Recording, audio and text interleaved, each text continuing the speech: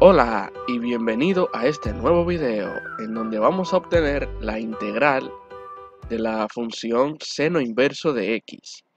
Cuando nosotros tenemos funciones como esta en la que su antiderivada no es tan simple de obtener, nosotros recurrimos a utilizar el método de integración por parte. Y el procedimiento sería como primer paso identificar quién sería nuestro u ¿Y quién sería nuestro db? Si nosotros tomamos como u la función seno inverso de x, pues nos quedaría tomar como db el diferencial de x. Y la derivada de u con respecto a x es una función que la conocemos anteriormente, que está como una regla de derivación.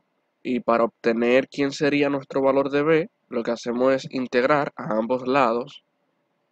Así nos quedaría b igual a x. Y ya luego de nosotros ya obtener esto, pues pasamos al segundo paso, en donde vamos a sustituir en la fórmula de integración por parte los, los elementos ya conocidos. Por ejemplo, sería u por b seno inverso de x por x menos la integral de v por el diferencial de u. Y ya ahora tenemos una integral que resulta mucho más simple de obtener y para ello vamos a utilizar una sustitución simple.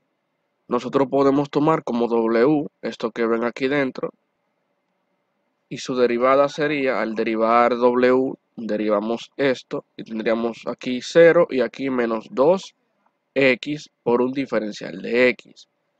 Y podemos notar que en nuestra integral tenemos el negativo también tenemos la x, pero no hace falta un 2. Entonces multiplicamos por un medio. Y ahora sí tendríamos 1 sobre la raíz de w por el diferencial de w.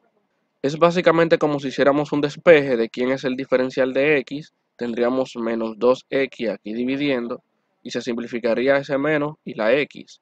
Y nos quedaría el 1 medio aquí.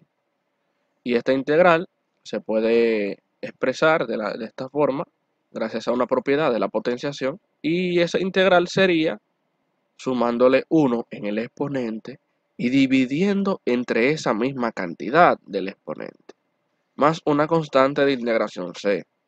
Siguiendo aquí delante, cuando sumemos menos un medio más 1, eso nos daría un medio aquí y un medio aquí. Ese un medio, junto con este un medio, se van a simplificar y nos va a quedar W a la 1 medio. Pero ¿quién era W? Recordemos que W era 1 menos X cuadrado. Y esta cantidad elevada a la 1 medio también se puede expresar como la raíz de 1 menos X cuadrado. Y así es como hemos llegado a la solución de este ejercicio.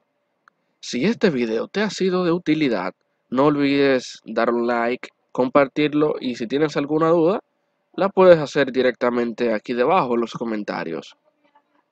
Y recuerda que nos vemos en este mismo canal en un próximo video.